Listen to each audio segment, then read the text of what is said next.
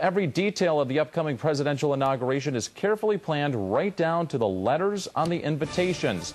In tonight's presidential transition report, Gigi Barnett reports how one Baltimore engraving company is charged with that task. One by one, they're created, engraved invitations and programs for Barack Obama's presidential inauguration this month. We do pretty much everything in-house.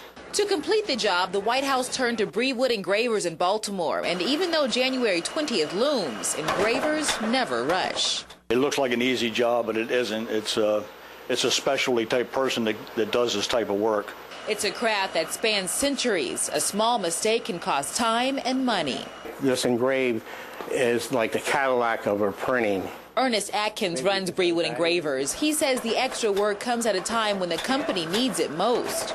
This time of year, things are a little slow, and the economy is not that good.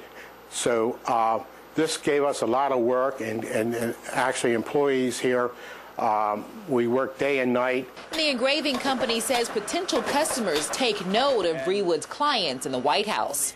If it's good enough for the White House, it should be good enough for other clients. The process starts with a steel image carefully completed by a master engraver. That goes to print on high quality stock, and finally it's dried, sent to the White House, and ready for Inauguration Day. I'm Gigi Barnett, WJZ Eyewitness News. Neat look at that. Thank you, Gigi. Stay with WJZ for complete coverage of the presidential inauguration. We're always on. Just go to WJZ.com for live events, extra video, and slideshows. Then on Inauguration Day, we'll be live from the nation's capital. Vic Carter, Kai Jackson, and Katie Couric lead our complete coverage all day long here on WJZ.